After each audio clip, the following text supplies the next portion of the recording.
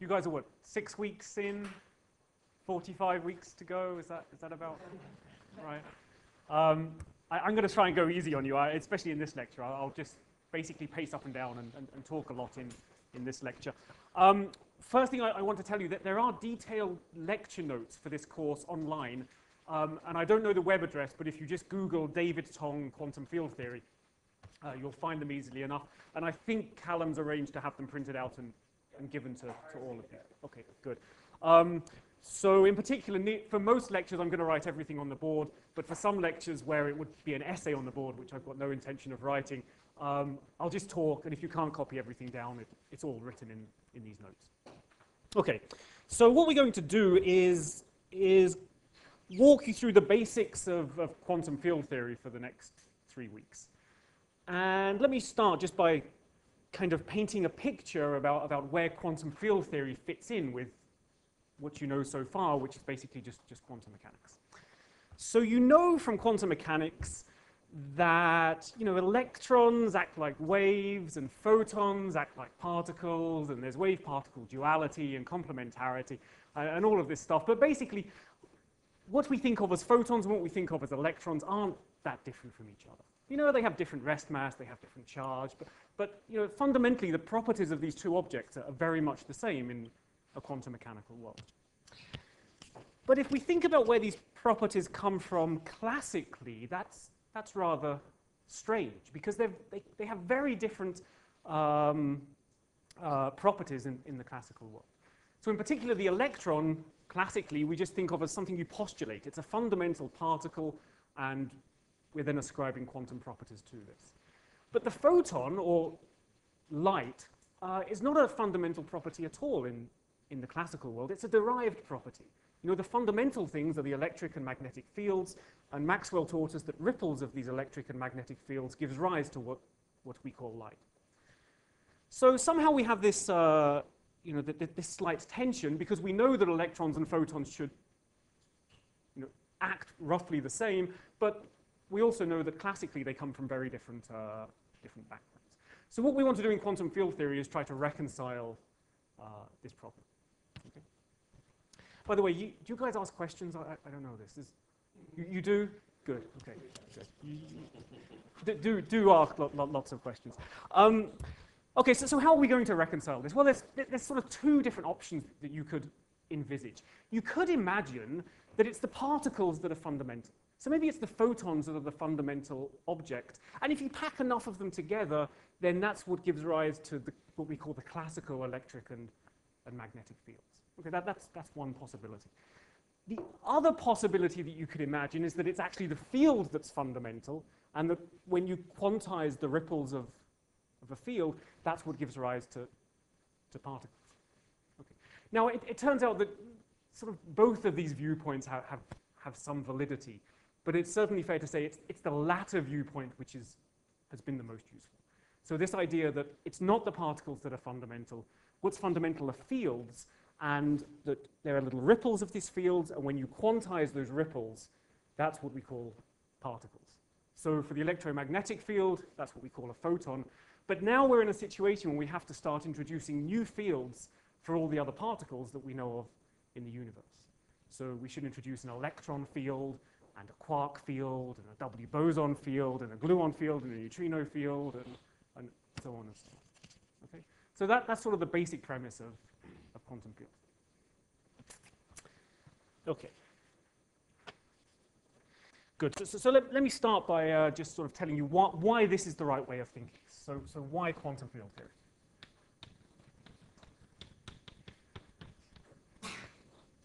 Okay, so there, there's a bunch of different answers to this. Firstly, there's a zeroth order answer, um, which is for the same reason that, that people introduced fields in classical physics. And, and, that's because of locality. You know, the reason that Faraday and Maxwell and, and, Einstein were thinking in terms of fields was so that if something happens here, an electron moves, we're not thinking that it physically influences something uh, over here immediately. What happens is it influences a field uh, in, its, in its vicinity, that field uh, influences nearby fields, everything ripples and ripples, and finally it influences something here, and there was never anything non-local happening. Okay, so that's true in classical physics, and it's also true in, in quantum field theory. But there's a couple of much deeper, more profound reasons to do with the, the Q in quantum field theory um, that, that is, also holds. So, so, so, let me just try and explain uh, what they are. Okay, so there's a couple of answers I want to give. So answer one is because all particles of the same type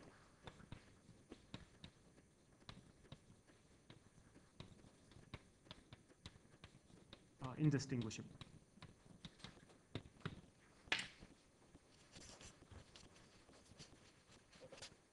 Okay, so, so, you presumably know about this already from, uh, from courses in quantum mechanics. It's the statement that if you have two electrons in front of you and you, you swap them around, then the state of the universe hasn't changed at all.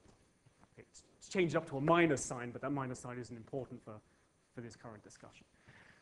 And you know, you, you probably not even thought just, just how extraordinarily amazing this, this fact is, that, that all electrons are exactly the same as all other electrons. All protons are exactly the same as, as all other protons. I, it's sort of mind-boggling, but to put it in some perspective, you, you could get a proton which, which, which was created in a supernova, which you knew happened five billion years ago in some galaxy far, far away, and you could compare it to a proton that you freshly minted in a particle accelerator here on Earth, and they would be exactly the same. And not just exactly the same like, uh, like you know, the two red pool balls on the table outside are exactly the same, but, but you know, exactly the same in an indistinguishable sense where if, if you swap them around, nothing changes.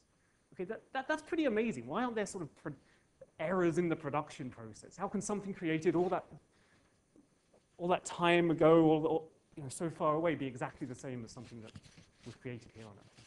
So there's some words that you can drape around this, and the words are the following, that there's a, a fluid, a sea of stuff, sort of proton stuff, that fills the entire universe, and when we create a proton particle, what we're doing is we're taking a ball of this, and we're molding it using quantum mechanics into a particle, and then it looks exactly the same as something over here because they're both made of exactly the same underlying stuff. Okay, so that's really the, the basic idea underlying quantum field. Um, there's actually a bit more to this story, which is to do with that, that minus sign. You know, you take two particles, two electrons, you, you swap them around. It's not exactly the same state, right? There's a minus sign in the wave function, which comes from Fermi-Dirac statistics and gives rise to the Pauli exclusion principle, which gives rise to all of chemistry and all of biology and all of life as, as we know it. It's that, it's that quite important minus sign. Um, now, in quantum mechanics, when you learn about statistics uh, and its relationship to spin, it's really something which you're just told. You're told spin half particles should be fermions, uh, spin zero particles or spin one particles should be bosons, and they don't pick up a minus sign. It, it's sort of an extra thing that you have to put on top of quantum mechanics. One of the things we'll learn in this course is, is why that is true, why this relationship between spin and statistics uh, has to be true. Uh, and this will come out of, of quantum field. Okay, are there, are there any questions about? Okay, let me tell you answer two. Um, answer two. And it's because special relativity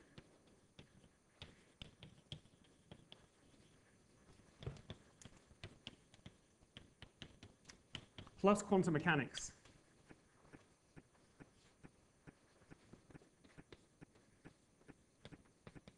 implies that the number of particles you have in your system isn't conserved.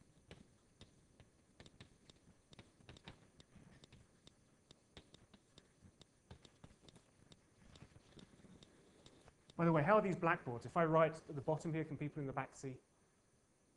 What, what, what's a good, a good cutoff? Is, is, is that, line. that line's a good, good cutoff, okay.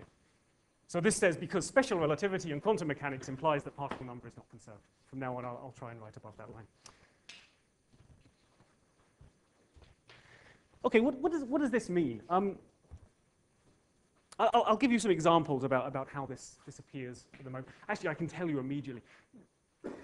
Google a picture um, from the RHIC particle accelerator in Brookhaven, or, better still, the STAR detector in, in RHIC. What you'll see is this incredible explosion of, uh, of particles flying out. There's about 10,000 particles that fly out of a typical collision uh, at, at the RHIC accelerator. These are created by, by firing together two gold nuclei, each of which has of order 200 nucleons sitting inside it. So it, it's a dramatic uh, example of how particle number is, is certainly not conserved when quantum mechanics and, and special relativity, in this case high energies, uh, combine together. Um, what this means theoretically is that if, if you try to take sh the Schrodinger equation, which typically describes a single particle, and you try to generalize that to a relativistic version of the Schrodinger equation, which still describes a single particle, you ain't going to make any progress. Something's going to go wrong.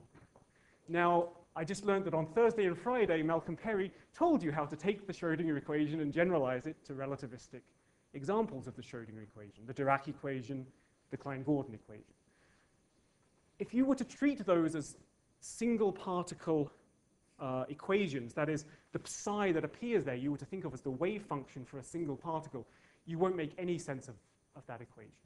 Okay, I think Malcolm just sort of skirted around some of these issues. But, but you'll, you'll see that things go horribly wrong. You, you have to make sense of negative probabilities.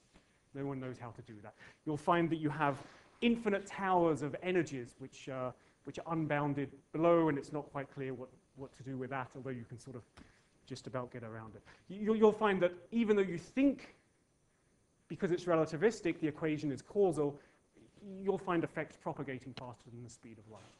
And what's happening is that in trying to write down this single particle relativistic wave equation, you've missed all the key physics, and this is the key physics. It's that, it's that there is no relativistic system with a fixed number of particles. Uh, typically, there'll be um, well, typically there'll be swarms of particle-antiparticle pairs around this, this fixed, uh, this single particle you started with. So, so, so let me just write down something quantitative about this. Okay, so consider a particle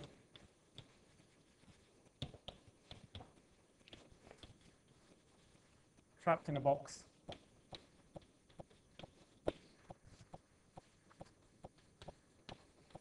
Size L,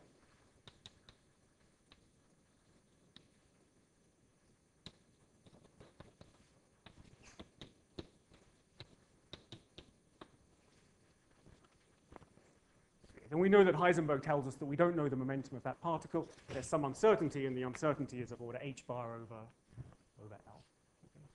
But if we're in a relativistic context, then one guy's momentum is, is, is another guy's energy. These are things which just transform into each other under Lorentz transformations. So somebody in a different frame is going to see some uncertainty in the energy of the system. So plus relativity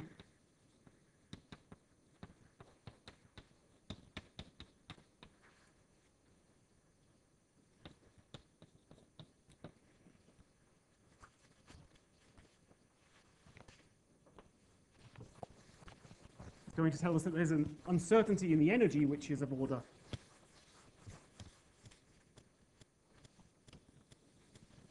h bar times c over L.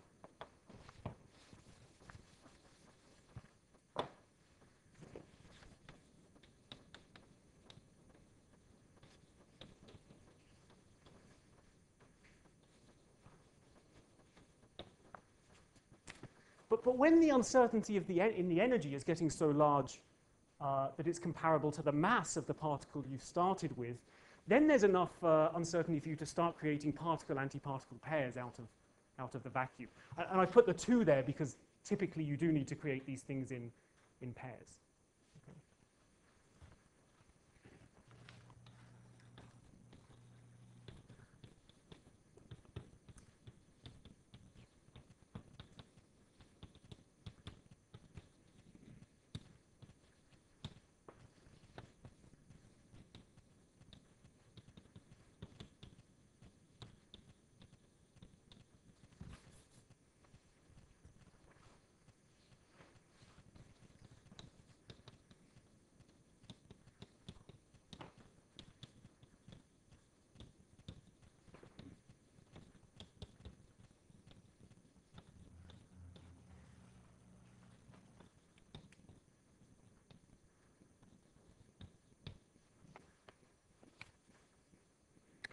Okay, the upshot of this is if you try to localize a particle in a small enough box, where I've dropped this 2 because this is all sort of order of magnitude estimates. But if you try to localize the particle in a box which is smaller than h bar over the mass of the particle times c, then it's not even possible to say that there's a single particle anymore. Because within that small region, there's a very likely chance that if you try to detect the particle, you may instead detect one of the particle antiparticles, which has just, uh, just popped out of existence from the vacuum around it.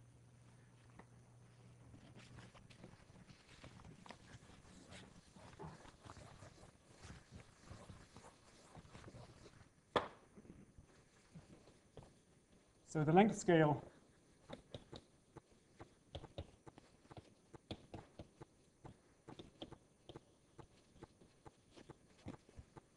that appears here is called the Compton wavelength.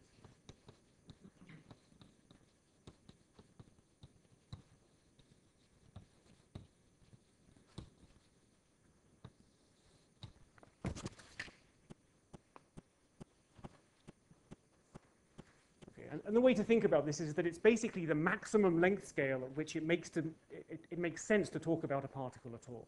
Because if you start exploring the particles at length scales smaller than this, what you're going to see instead is a swarm of particle-antiparticle pairs that, that, that, surround the particle. Okay? Remember, there's another length scale associated to quantum mechanics of particles, and that's the de Broglie wavelength.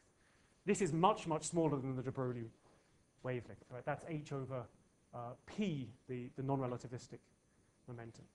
So, a good way to think about it is that the de Broglie wavelength is, is where the particle first starts to exhibit wave-like properties, and the Compton wavelength is where the particle um, sort of ceases to make sense as a particle at all. It's really, in some sense, the size of, of the particle.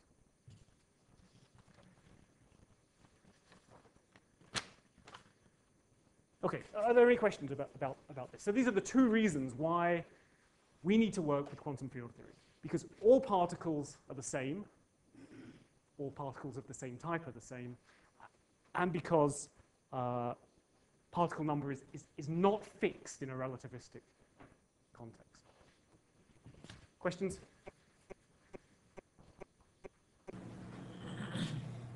No? Okay. I told you why quantum field theory is, uh, uh, is necessary, uh, but I haven't yet told you what it is. So, so let me now say a couple of words about that.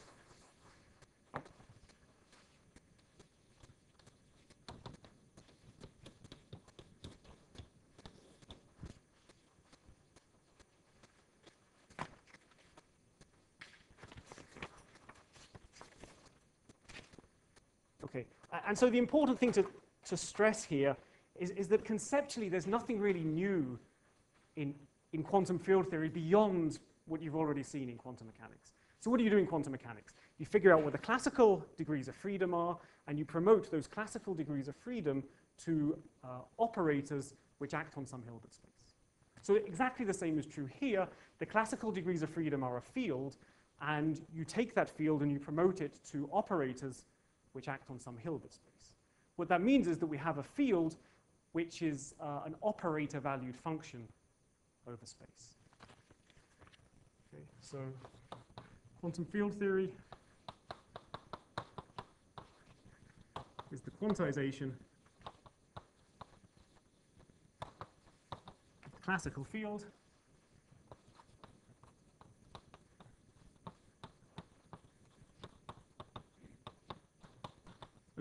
good example of a field to keep in the back of your mind are the electric and magnetic fields, uh, uh, classical electromagnetism. So the basic object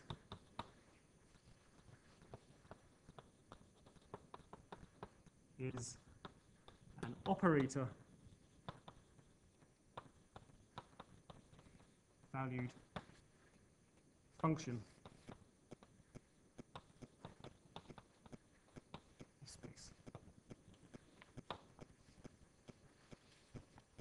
So, classically, every point in space has uh, a field value associated to it. Quantum mechanically, every point in space is going to have some operator associated to it. This operator is going to be acting on basically a Hilbert space. Okay? This immediately tells us one of the major problems with quantum field theory, The problem is that there's an infinite number of points in space.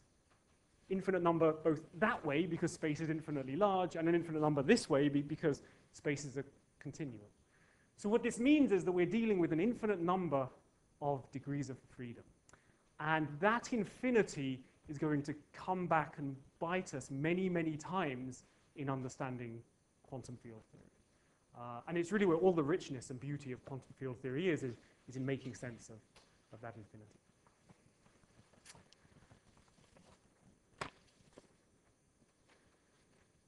Okay, so that's, uh, that's what quantum field theory is. Finally, I should just tell you what it's good for. Um, and the answer is really basically everything in theoretical physics. Quantum field theory is simply the language in which we write down the laws of physics. So this is true in high energy particle physics, and that's because we're um, being at high energies, we necessarily have to include special relativity, and as I've told you, when you have special relativity in quantum mechanics, particle number isn't fixed, and we're obliged to work with quantum field theory. It's also true in non-relativistic settings. Uh, if you're working with condensed matter, where you have swarms of strongly interacting or weakly interacting particles, the correct description, even though particle number may be fixed, is still typically in terms of, of quantum field theory. Okay? It's, uh, it's true that we need to work on this with cosmology. The whole story of density perturbations in the CMB is, is uh, an application of quantum field theory to, to curved space-time. If you're interested in quantum gravity and string theory, all of string theory is basically just, just quantum field theory. And even if you're interested in pure mathematics, and somehow Witten's legacy to the, to the history of, of physics is, is mostly an application of quantum field theory to, to uh, astonishing new results in, in mathematics.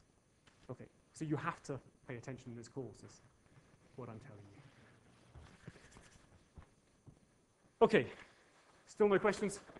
Yeah, please the reason why you have to think about quantum theory is this. I mean, I don't know what you mean by quantization of a classical field, but it seems like that's a very approach, like classical approaches, and like in quantum mechanics, it's the sort of approach that you take going from kind of classical mechanics to quantum.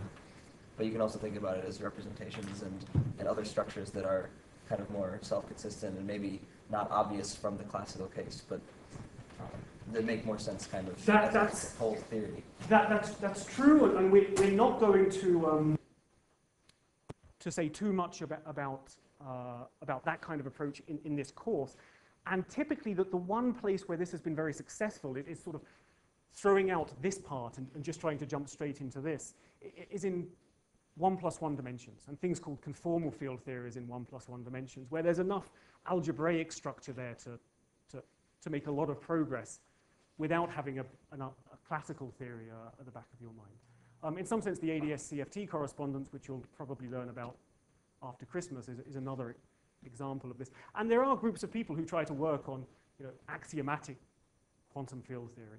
Um, I think apart from in the, the two-dimensional case, the results haven't been stunning for that. Um, so certainly we're, we're going to take this view and start with classical fields and, and work forward. Other questions? No? Okay, let me, let me just give you a guide to the literature. Um, there, there, there's, there's a lot of quantum field theory books on, on the market. Um, so I'm just going to go through a few here that, that I know.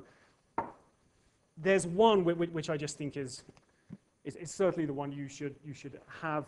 Um, uh, and this course is going to be based mostly on the first five chapters of this. So it's Peskin and Schroeder. Um, it's not an easy read. I mean, they, they, do things in detail, they explain it well, but you know, quantum field theory is a hard subject, and they don't they don't fool you. They you you'll have to work to go through it. But it'll be good for this course. It'll be good for the next course. It will be good for the standard model course, and you'll need it if you do research. So, so this is really, I think, the, the, the number one book. Um, there's a bunch of other uh, books with, with sort of some redeeming features. Um, go through. Oh, let me tell you about this one. This is, this is a book by Ryder. Um, it, it's basically very gentle, and he'll, uh, he'll explain things well and go very slowly. It is an easy read, um, but after you've learned it, you probably won't open it again. So it's a great, great book to learn from, but not that useful for, for research afterwards. But, but as you're all learning, I, I think this is something you should, uh, you should be opening regularly. Um, then there's some other interesting books. Steven Weinberg. Um, you know this guy, right? He's one of the, the smarter Nobel Prize winners uh, in the last 50 years. Um, so he has, he has this, this three volume uh, series on quantum field theory. Volume three, supersymmetry. Just don't bother opening it. There's better books to read on supersymmetry. Um, but volume one and two are, are not, not bad. Actually, that, that's, that's the wrong. You know, they're, they're really excellent, but a little bit quirky. Um, so, so there's this story I've heard. I don't know if this is true. You know, Weinberg has this book on general relativity. Um, and I'm told that he wrote the book on general relativity in order to learn general relativity. Uh, and the result is, is I think, a, a completely fantastic textbook. And I, I, really like that book. In contrast, when he wrote this, I think he knew more about quantum field theory than any other person on the planet.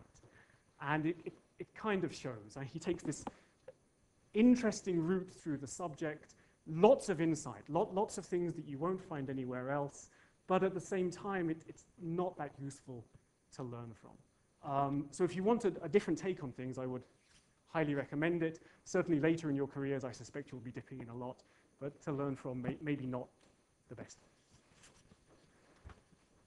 Um, then there's uh, Zee's book.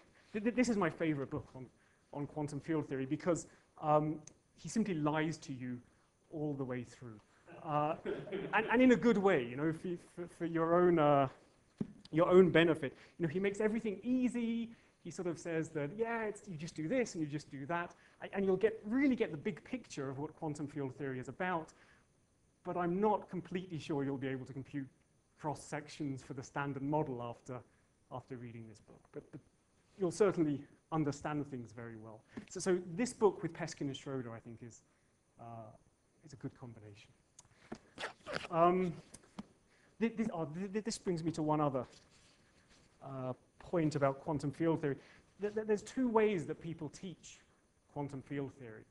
Um, so one way is sort of what I've stressed here. You take a classical field and you promote the degrees of freedom to operators.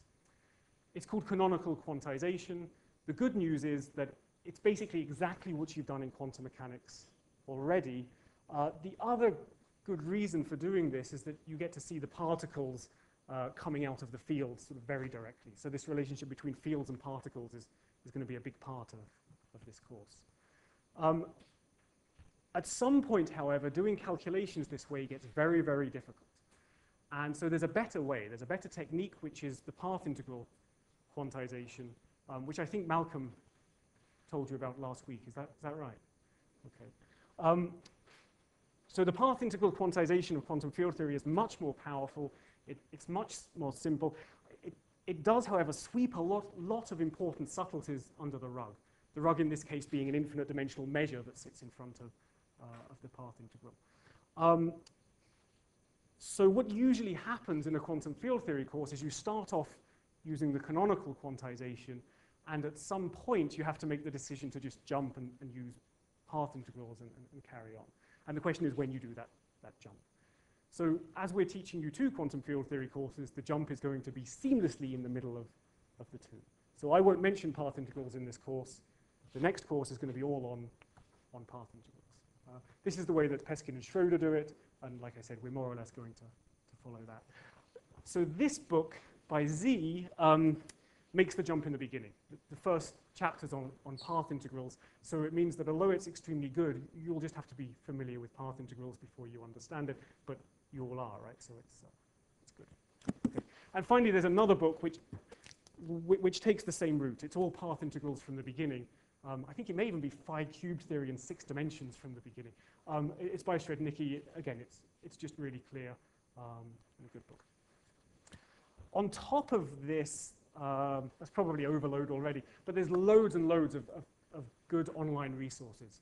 Uh, really excellent lecture notes that various people have, uh, have written. So if you go to, to my webpage for this course, which again, just Google David Tong quantum field theory, there's a whole list of uh, notes at the bottom there which, uh, which you can pick and choose. Sorry? On the wiki already? Brilliant, okay, and it's on the wiki. Good. Okay. Um, what else do you need to know? How are we doing for time? It's 35 minutes. Let me, let me tell you some history. It's always just good to, to have a bit of, um, a bit of context laid, laid down for you. So, so quantum field theory started um, immediately after the discovery of, of quantum mechanics, late 1920s. Um, you know, the, these giants of quantum mechanics, people like Heisenberg and Pauli, uh, Dirac, of course, um, uh, they were all trying to quantize the electromagnetic field. Basically, for the reasons I mentioned at the beginning, they realized that that had to be the correct description. Um, by the way, the, the, guy who first understood the way particles come from fields was probably Jordan. Um, and he didn't win the Nobel Prize, I suspect because he was a rather enthusiastic member of the Nazi Party. Um, and this was, you know, at a time way before it was fashionable to be an enthusiastic member of, of, of the Nazi Party. Um, so these guys sort of laid the foundations of quantum field theory. Uh, late 20s, uh, all the way through the 30s, were trying to, to understand the way to quantize a field. And they basically failed um, because of this infinity, because they, they couldn't really make sense of having an, a, a, theory with an infinite number of, of degrees of freedom. So if, if you look, there are these, you know, there are these very interesting quotes from people like Dirac at the end of the 1930s say, saying, um, I think we've all now decided to junk quantum electrodynamics. Thank God we never have to go back and, and look at that again. It's an ugly theory. Um, so that was basically the situation leading into the, the Second World War, was, was that um, people had tried and laid down the framework for quantum field theory, but not really managed to succeed to make sense of of these infinities that, that arise. I, I should say, what we're going to do in this course doesn't go a lot beyond what those people did in the 1930s. Uh, it's really just, just the very basics. We're kind of going to take a route which just avoids mentioning these infinities whenever possible. Okay, so, so then the, you know, the, the next big success came after the war. It was the new breed of physicists, Tomonaga, Schwinger, Feynman, Dyson. Um, and they understood how to make sense of these infinities um, through a process that they called renormalization. Uh, they developed the theory of QED. It was phenomenally accurate. There'd never been a theory like it, which agreed with experiment to such incredible number of uh, significant figures. Um, but even then, I, I, think there was this underlying suspicion about what, what they were doing. This idea of renormalization to get rid of some infinities. You know, it, you read statements that, that it was like sweeping infinities under a rug that Feynman called it a dippy process. I, you know, people were uncomfortable with, with this. So by the 1960s, it, it, it, was really falling out of fashion. People were discovering new particles all the time, mesons and baryons, and, uh, strong resonances. Um, and somehow the idea you should have a field for each of these were, was you know, a little bit upsetting to people. Um, and so other techniques were, were being developed. Techniques sort of a little like what you were suggesting. You junk the classical field and you, you go to something more abstract. In that case, it was the S matrix or bootstrap methods or, or things like this. Um, and I think in that time, in, in, in, the 60s, there were probably only a handful of people working on, on quantum field theory. Um, and then we get to the 1970s, and, and, and, this is the golden age. Asymptotic freedom uh, tells us that, uh, that really it's a quantum field theory that's uh, that's underneath the strong force and gives rise to all these uh, dozens, hundreds of particles that were, that were seen. Um, these infinities, these infinities that, that are there from the beginning, they're finally understood in, in, in a deep and, and profound way, starting with work by Kadanoff, uh, by Wilson, um, and you know, th this really gives rise to, to I, I, think, the most important part of, of quantum field theory, is, is understanding these infinities using what's called the renormalization group. Um, meanwhile, you know, there's, there's progress on understanding the way geometry and topology fits into quantum field theory. Um, and I think from then it's, it, it's, it's been clear that it's, it's the framework in which nature is, is written, certainly on the energy scales that we've probed so far. Okay. Um, good. So,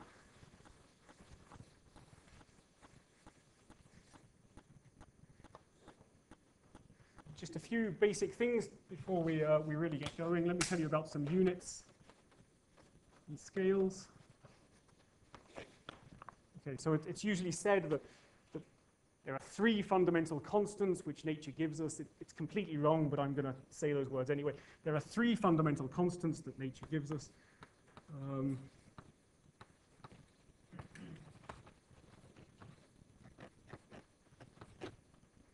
Uh, and so this is the speed of light, h bar, and uh, Newton's constant g. Uh, the units is the speed of light obviously has uh, length over time. h bar has units of joules seconds, which if you write in terms of length, mass, and time is the following. And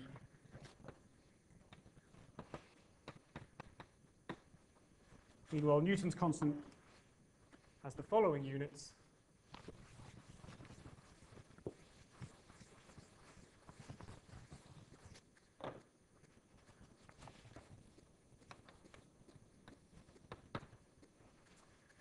So throughout this course, we're going to work in units in which h bar is equal to c is equal to 1, which means that, uh, and what this really means is that, is that we can uh, basically translate between units of time and units of uh, length just by putting in factors of, of c.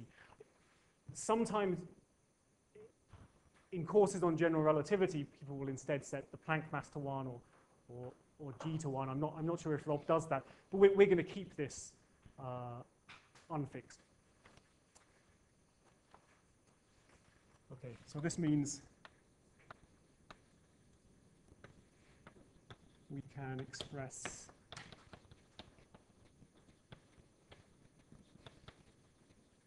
everything in terms of mass or equivalently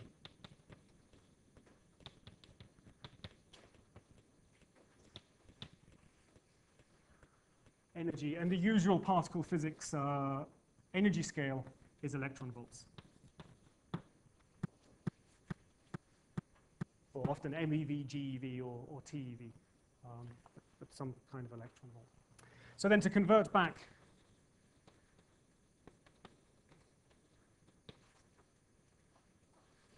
to you know, meters, seconds, whatever.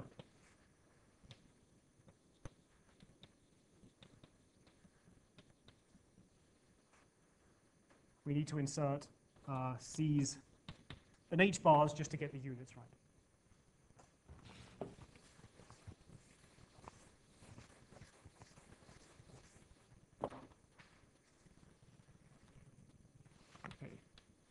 So for example, we've seen one of these equations already, the Compton wavelength is basically the inverse of, of the mass. This is a length scale, this is a mass scale. If you work out what units you have to, or what uh, quantities you have to put in to get the units right, there's an h bar on the top and a c at the bottom, which is exactly what we, what we saw before. This is length.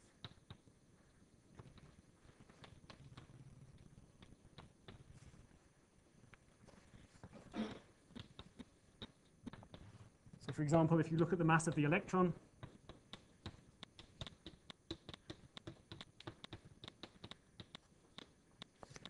using this relationship here, this converts to a length scale, which is uh, 10 to the minus 12 meters. Okay, so, so, so there's a useful exercise. Uh, maybe Nima walked you through something like this, but, but you, sh you should do the following. Um, ju just figure out what the energy scale is associated to the size of the universe, um, the solar system, and uh, say the atomic scale. Okay. Also figure out what the length scale is associated to the cosmological constant, um, the LHC, I don't mean 30 kilometers, I mean the inverse TeV, uh, and the Planck scale. Okay. okay, so if a quantity has mass dimension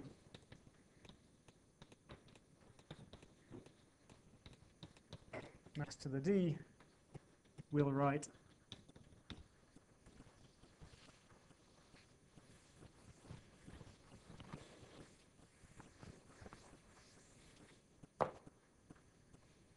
Sorry, I should have said if a quantity x.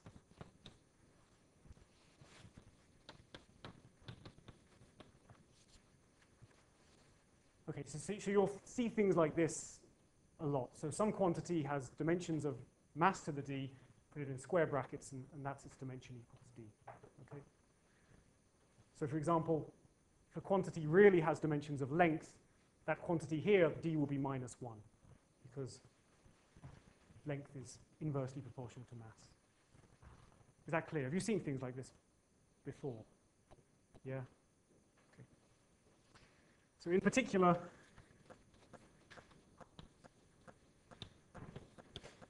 Newton's constant, which we haven't talked about yet, has dimensions minus 2.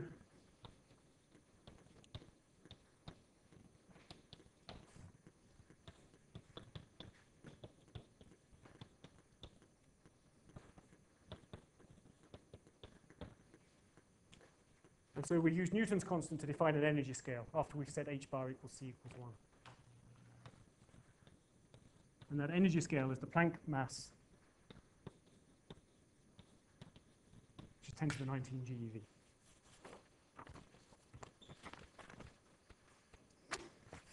Okay, so, so, like I said, it, it's, it's good to just work out and remember what all the relevant length scales and energy scales are, starting from the Hubble scale and going all the way down to, to, the, to the Planck scale. Okay? And what the ratio is between, between those two. Okay, any, any questions about this introductory stuff? Yeah, please. Sorry, YT equals uh, h bar times c divided over m. Ah, so, so this is a definition of, of what we mean by the Planck mass. Okay, so, so the units are right. You know, the units of this were, were well, units are correct. All second meters divided by seconds divided by some, some mass scale. So after you've set h bar c equal to 1, Newton's constant defines for you an, an energy scale or a mass scale. You know, energy scale is the same as a mass scale because E equals mc squared, but c is 1, so, so the less catchy E equals m. Yeah. Other questions?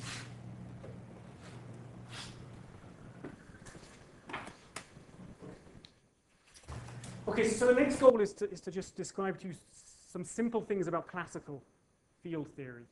Um, so I, I, set some problems on Friday uh, just to see if, if, if, you were happy with ideas of Lagrangians and Hamiltonians. Um, so let me just ask, how many people were happy with those? How many people weren't happy with? Is, is it all good? If I just talk about Lagrangians and Hamiltonians, everybody's going to be going to be okay. Okay, good. So,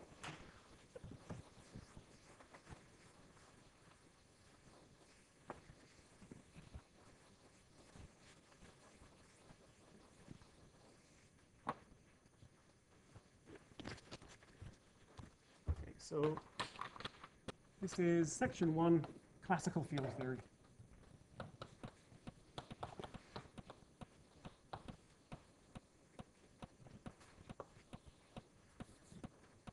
Okay, so, so I should warn you now, we're, we're going to need various bits of classical field theory, things to do with different representations of the Lorentz group and gauge symmetry. And the plan is not to give it to you all at once, but just to give you the minimum stuff that we need. Then we'll go on to quantum field theory. And then as the course progresses, we'll just start to introduce more and more stuff from classical field theory that's, that's necessary. So, so let's just start with some definitions. So a field is a physical quantity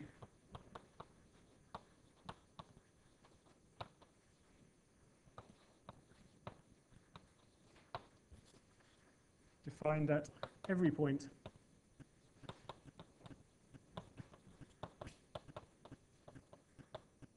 space and time.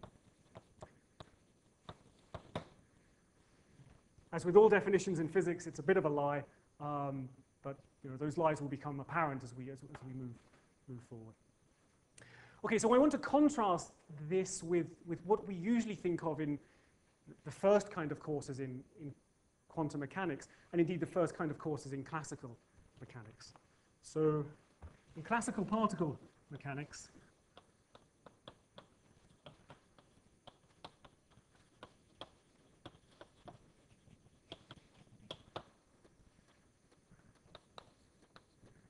there are a finite number of degrees of freedom.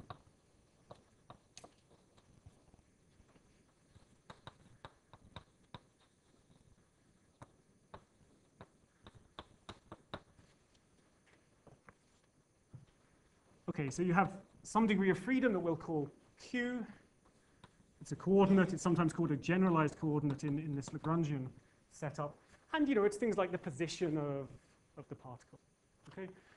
There's typically some label on these. For example, it's the position of the particle in that direction or the position of the particle in that direction and so on. But there's some finite number of labels you attach to this. And the goal of classical mechanics is basically to figure out what these function are, functions are, i.e. how the positions of particles change as, as a function of time.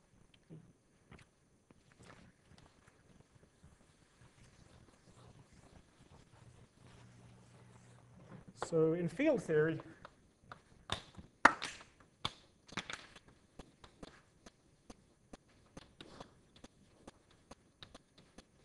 we have an infinite number of degrees of freedom.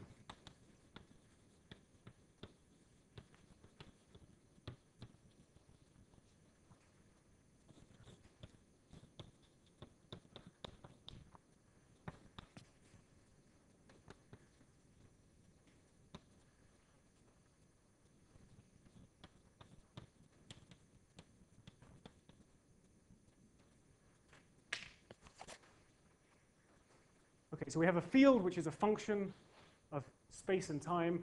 There could be some finite labels that we'll, we'll just call A here. But in particular, X, the position, is again just a label for the degree of freedom. It tells you the degree of freedom at this point in space or the degree of freedom at, at this point in space. Okay, so if you like, position's been relegated in quantum field theory. In quantum mechanics, position was this dynamical variable for the, for the particle. By the time we get to quantum field theory, it's not a dynamical variable at all. It's, it's now just a label, and not too different from all the other labels that we're going to, to put in.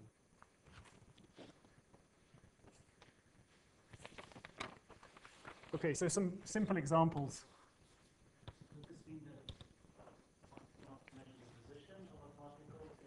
Yeah, exactly. That, that, that's not an operator anymore, right? So, so you know, those uncertainty relations between x and p, and x is just a label. There's nothing uncertain about it. Um, yeah. So the question of how we then go from quantum field theory, which is fundamental, to usual ideas of quantum mechanics, takes a bit of thinking about. And I, I may set this for an exercise, maybe at the end of this week. Um, That definition of field you had earlier, does that then mean that things like scalar potentials are fields under that? Yeah, that's why it was a lie, because I said physical, but actually there can be caveats to do with gauge variances. Well, I, why I ask is because it- typically fields are introduced as vector quantities, but I mean, are scalars? Oh, I, I- see, so absolutely, sca- scalar is going to be the first kind of field. Okay. Think of a temperature field. At every point in this room, sort of coarse grained, there, there's a temperature that we can associate to it. That's a field whi- which evolves under certain diffusion equations uh, of motion. The, the reason it's alive because the scalar potential in, in electrodynamics isn't something physical. It's not something you can measure because it, it's potential differences you measure because of gauge invariance and, and so on. But we'll come to these issues as well. Um,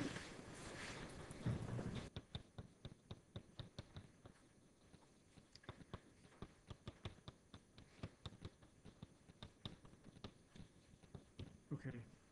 So as you said, the, the, the fields that we're most familiar with are vector fields. Um, the, electric the electric field and the magnetic field, they're functions of x and t, but x is um, just a label for this field. It's not the dynamical variable. And the I index here just goes from 1 to 3 and tells you the direction in which, which this field's pointing.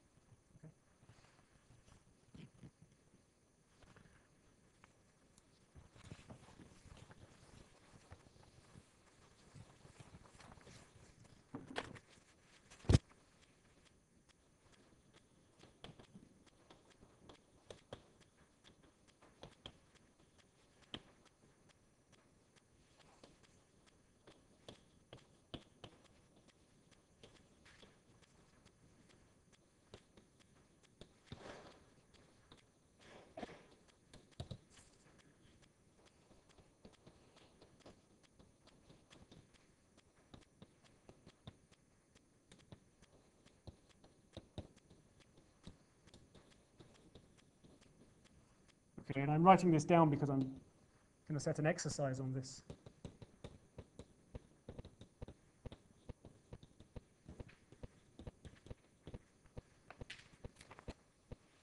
Okay, so this should be familiar, but, but remember the, these fields obey certain equations, Maxwell's equations. You can solve four of those equations, and sorry, you can solve two of those four equations immediately if you rewrite these six fields, six because there's three here and three here, in terms of these four fields using this. Okay, again, hopefully familiar to everybody. Is, is this not familiar to, to anybody? Yeah.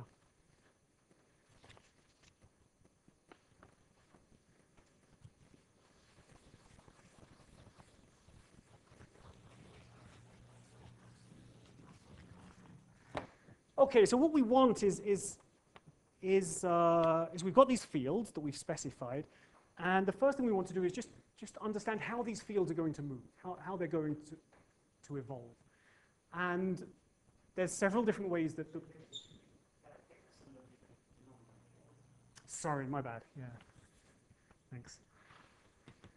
I'm going to make lots of mistakes like that, so shout, okay?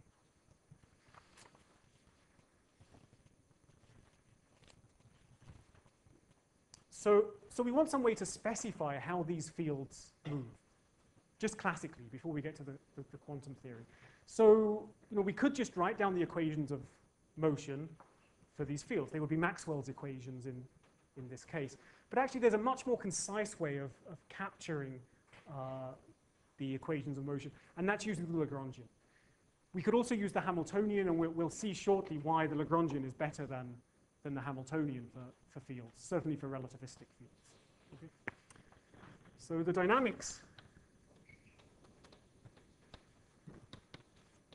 of the fields is governed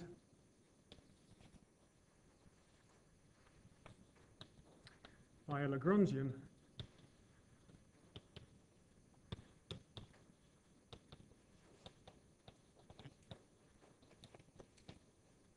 which is a function of, well, the fields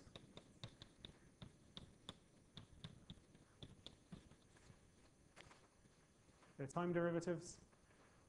So if, if you think back to um, standard particle mechanics, the Lagrangian is typically a function of the positions of the particles and their velocities. So, so the analog here is the value of the field, the time derivative of the field, but now the field is also a function of space. So we're, we're going to include in this spatial derivatives of the field.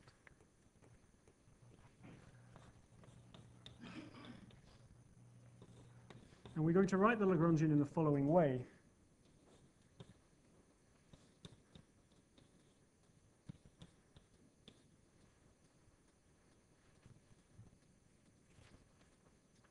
So the Lagrangian, the Lagrangians we're going to consider are integrals over all of space of this function that, that I'll call curly L instead of a straight L.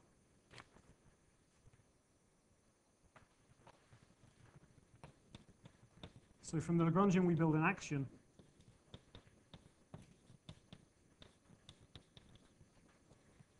Sorry, I'm just going to slip uh, under the line here.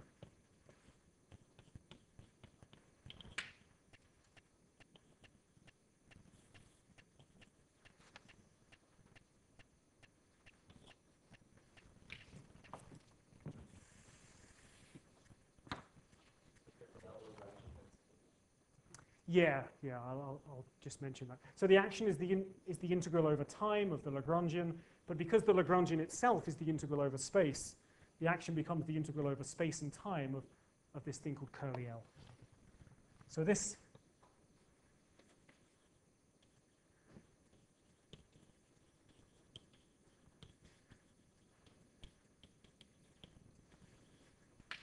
So this curly L is, is really called the Lagrangian density, but you know, it's one of these things where you're told it's called the Lagrangian density when you first encounter it, and from then on, everybody just calls it the Lagrangian.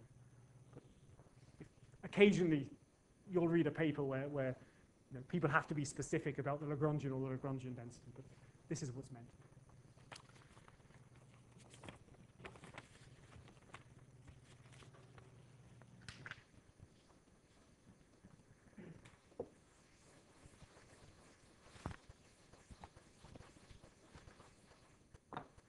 Okay, so a quick note.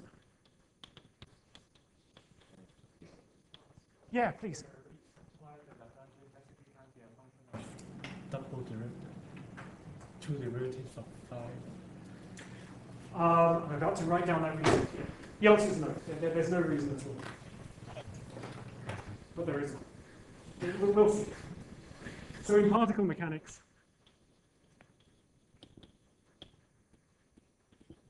L is a function of q and q dot, but it's not a function of the acceleration. You know, the whole uh, the whole framework of, uh, of Lagrangians, as we first learn it, requires that it's only a function of q and, and q dot. So in field theory,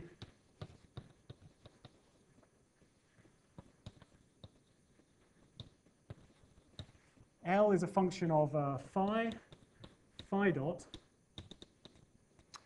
Actually, let me write this in words. It might be.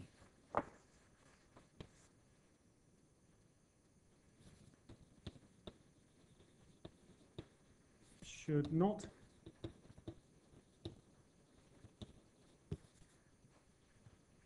depend on phi double dot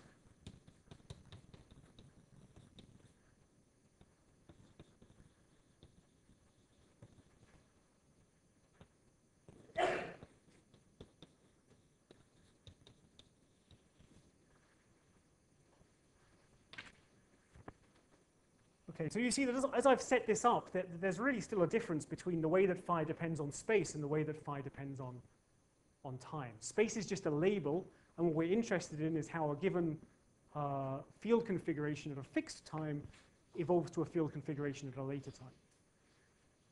Now, for the same reasons as in particle mechanics, the Lagrangian shouldn't depend on the, the acceleration of phi. It shouldn't depend on phi double dot. But there's no reason, in principle, why it can't depend on second derivatives of uh, spatial derivatives of, of phi. And there's various cases that, that you'll come across where the Lagrangians will depend on spatial derivatives of phi. Certainly in condensed matter, where there's no reason that space and time have to be on the same footing, there's no Lorentz invariance. Not unusual at all to find Lagrangians with, um, uh, with these kind of terms. However, as you could imagine, what we're really trying to do in this course is, is, is unite special relativity with, with quantum mechanics through quantum field theory. If we're going to do that and have any relativistic theory, uh, then space and time had better be appearing on equal footing. And so for that reason, we're only going to consider Lagrangians that are a function of the first derivative, spatial derivative of phi, but not two derivatives. Okay? Is, is that the question you, you, you asked? So why can't the Lagrangian density depend on phi dot dot? Oh, so, so you know, it's, it's basically the reason that you need two initial conditions, the initial uh, position and the initial momentum, in order to dictate the rest of uh, the rest of the motion of a particle, or indeed of the field. Yeah. Please. So you mean uh, in the field theory only space x uh, is a label, t is not a label. T is exactly the same footing as as it is in particle mechanics. It's, it's the thing you want to solve for.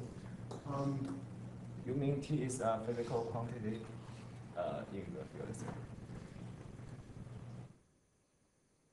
I'm not, I'm not sure what that question means. I know in some sense it's almost free footing as x, but, uh, but, but in making the, the leap from particle mechanics to field theory, um, it's best to think of x as a label and then realize later that it's possible to put it on the same footing as time.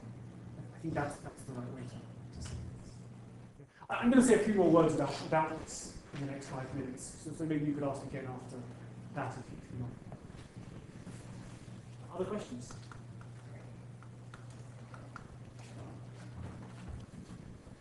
Okay, so let me just remind you about the way the principle of least action works. I I know that was the um, what I asked in the homework exercise, but it's a little bit different in field theory. So let me just tell you uh, how to do that.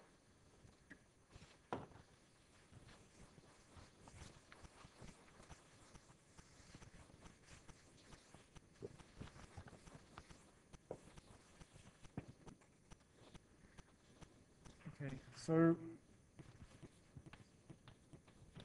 so we determine the equations of motion.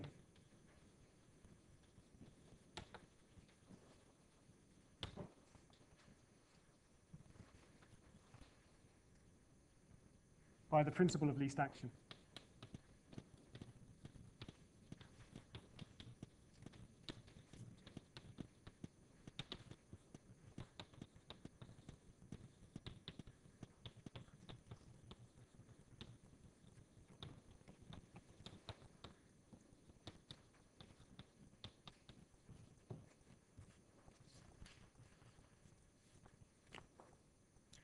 So we vary the action by considering, let me write it down, it'll be easier.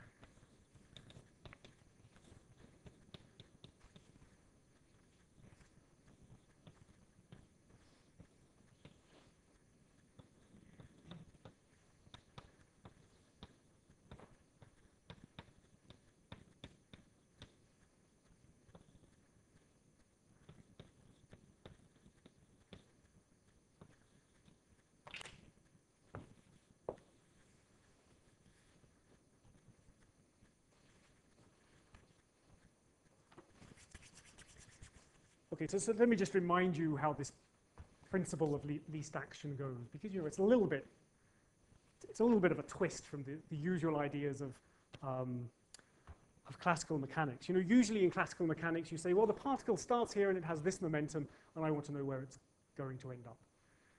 In the principle of least action, the way you phrase it is, is a little different. You have to input two initial conditions, but rather than having the initial conditions being where the particle starts and how fast it's going, the initial conditions are instead not really initial at all. It's, it's where the particle starts and where the particle finishes, and they're your two conditions. And then you, you say, well, I consider every single possible trajectory the path could take, the particle could take, between here and here, and I ask which one minimizes the action, and that's going to be the, the true path that, that the particle takes. That agrees with you know, F equals ma, Newton's equations of motion. So, so what do we do for fields? For fields, it's the same.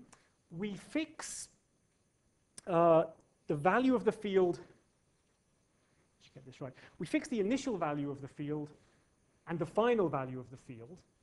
And we want to know how is this value of the field configuration going to evolve into the, into the other one? Well, what we do is we vary the action and we insist that the, uh, it's an extremum of the action.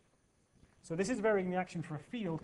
It's exactly the same as the equation you would have for a particle. There's this finite label A here. Um, what's new is that the action is now going to depend on phi dot and grad phi. And so I've included both of them in, in here with this mu index.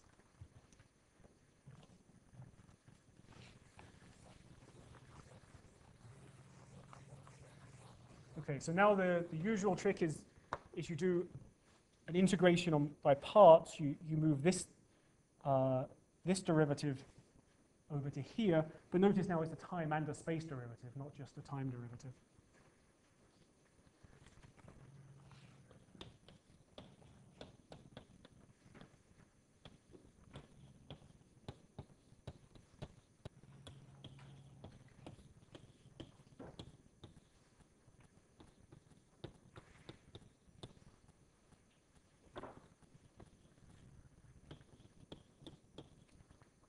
And then you pick up the boundary term for, for your troubles.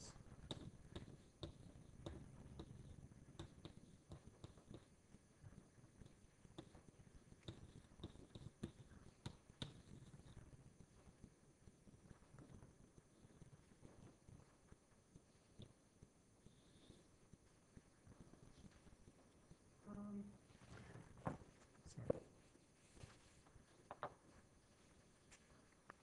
sorry. Okay. The integral is over, over everything.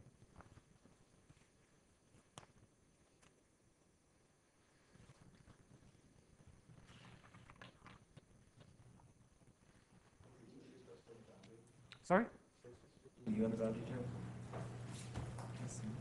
Yeah. So, so there was there was this EMU here, and what I did was I took this outside of everything. That's this term, and then subtracted the DU just hitting this. Oh, It's used, Still haven't integrated yet. Maybe I, am I just missing these brackets? Is that the? oh, Yeah. Well, that would include the boundary term in your intro, Yeah, okay. I've just integrated my parts at this point. I haven't thrown anything away. It's- but I thought the boundary term, Okay, It goes on the next step. Hmm. just wait thirty seconds. Yeah, less than that. Okay, so now this vanishes.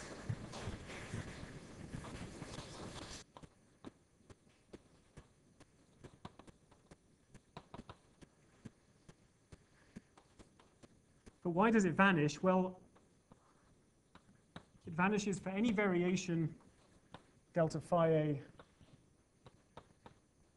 xt we, we actually need two reasons now why, why this vanishes. So in the usual particle mechanics, it vanishes because you know, you consider all possible paths between these two points, keeping the endpoints of the path fixed. Okay?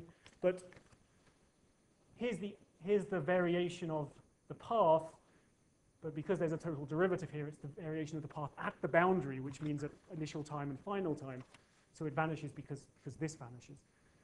But now we've also got to worry about spatial infinity as well. So the correct statement is that this uh, term vanishes for any variation that decays suitably fast.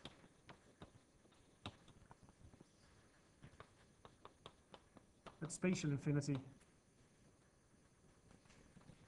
And then obeys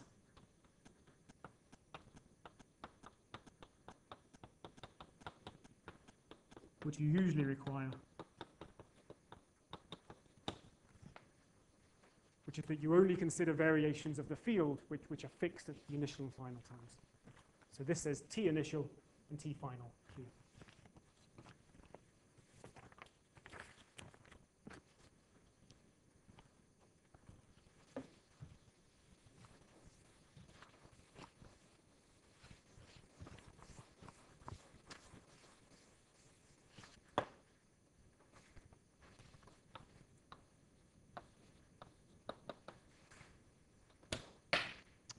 Yeah.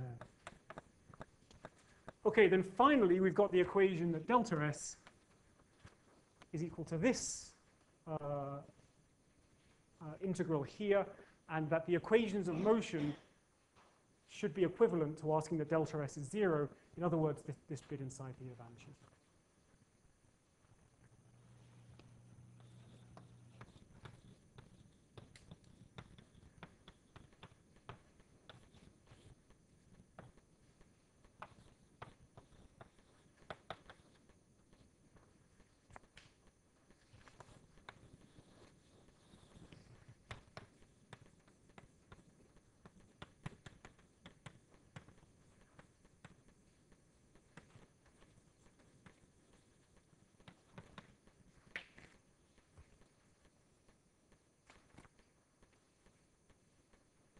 So these are the equations of motion for a given, I guess I should still have that A index on everything.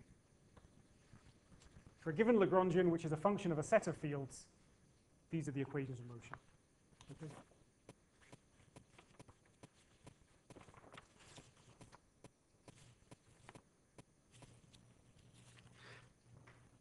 Let, let me just do one example very quickly.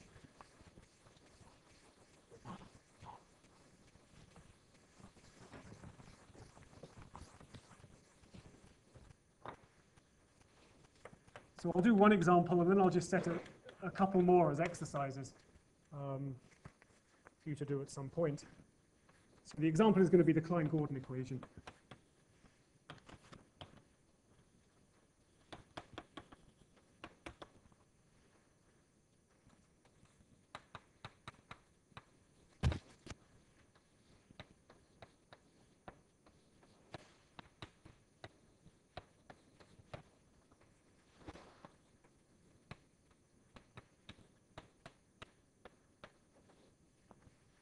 Okay, this is the Minkowski metric, and I think in contrast to your special, to your general relativity lectures, it's going to be mostly minus.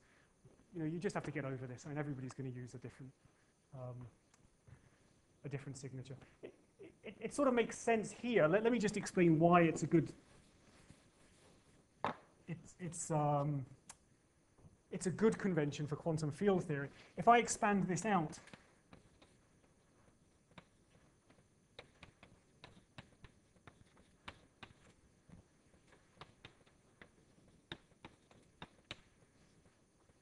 it looks like the following. So, so think of this in terms of your usual Lagrangians that you first learned about. What's the usual Lagrangian? L is equal to T minus V, kinetic energy minus potential energy. So what do we have here? This is the kinetic energy of the, of the field, phi dot squared, how fast it's changing in time. But then the potential energy has two pieces. There's the piece here that I've, uh, I've just introduced some phi squared piece, saying that if the field gets bigger, you pay a potential energy price of order phi squared. And then there's also a gradient piece. The gradient piece comes with a minus sign because this whole thing, gradient plus m squared phi squared, should be thought of as the potential energy. Okay? So the reason this signature is useful, and really it's useful because it's, it's energy which is positive rather than, rather than length scale. Um, but in particular, it means that when you write down kinetic terms, they just come with a plus here. Okay, plus d mu phi, d mu phi. If you were to have the other, the other sign, you'd have to put a minus in front of this kinetic term for the Lagrangian.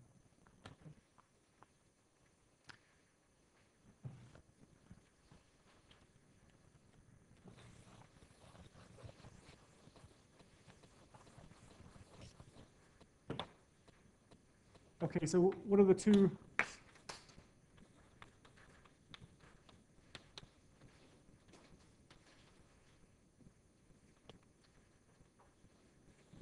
So figuring out the two uh,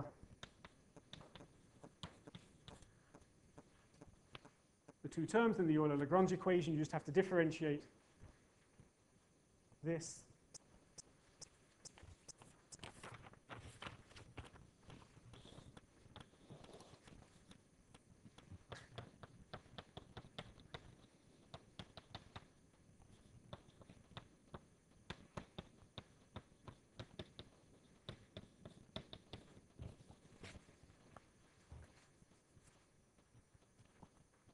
you to, were to plug this into uh, the Euler-Lagrange equations, you'll find this,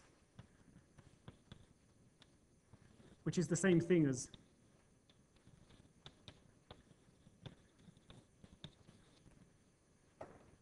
as this.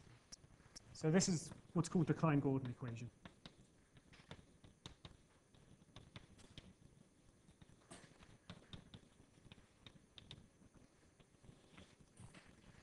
Was actually first written down by Schrodinger. It was Schrodinger's first attempt to write down the Schrodinger equation because Schrodinger knew about special relativity and figured if he was going to write down some new fancy equation, it better agree with special relativity. Okay, in the end, it's not the right interpretation. Okay, you, you shouldn't think of this in the same way as you think of the Schrodinger equation. This phi here has nothing to do with the wave function in, in quantum field theory. Okay, sorry, nothing to do with the wave function in quantum mechanics. Nothing at all. This is just a scalar field which has some value at every point in space. And this is an equation which is telling you how that scalar field is, is changing with, with time. It's, how did you get that first um, equation? Sorry. On the left-hand side of the board? This, this, this guy, Yeah. yeah, yeah if, if you're, if you're not happy with, with the indices, so you know, the point is I can, Right, you raise I the can raise this, but, but then you might think, you know, have I only got one d phi with it down, so am I cancelling this off? Is that the problem, or are you? Oh, See, I'm differentiating with respect to a oh, oh, I see. So you just pulled away one of them that holds the other. But, but you do that twice because it's, it's a d phi squared. If you're not happy, I recommend the following. Expand this out as phi dot squared minus grad phi squared. Expand out the Euler-Lagrange equations in the same way. Yeah, I, I think I see it now. And then, then plug it in. Yeah. I just didn't, it just didn't immediately. Sorry, taking a moment. Um, good. Yeah, so let me stress again. If you've seen this Klein-Gordon equation before in quantum mechanics, ignore it. This isn't a wave function. Okay. Okay. Um, I'm going to set a couple more exercises along these lines that you can do this afternoon or maybe maybe tomorrow, just simple Lagrangians and trying to figure out what the equations of motion are for them. Among them will be the Maxwell, the Lagrangian for Maxwell theory, uh, which you may or may not have seen before. Okay, are there any questions? Please. You said that the, uh, the variation of the field at infinity has to go to zero. Yeah. Time infinity. Um, what does that say about the fields themselves? Like, are we only going to consider fields that go to zero at infinity? I'll, I'll say yes, because it's going to make life a whole lot easier. I, you know, there will be situations, of course, where that's not what you're interested in in a given problem, and, and you'll have to deal with it at, at that time. But Right, in but- this course, But like this, this Euler-Lagrange equation, is it only valid for fields that go zero? I think a, a more correct statement is you have to add extra terms to the action. Okay. end. Uh, Okay. You know, there- there's something called the Gibbons walking term in general relativity. I don't know if you, if you come across it. But, And it's just, start with the Einstein-Hilbert action, it doesn't actually define a good variation principle. You have to add a boundary term to these kind of issues. Any other questions? Okay, let's get coffee.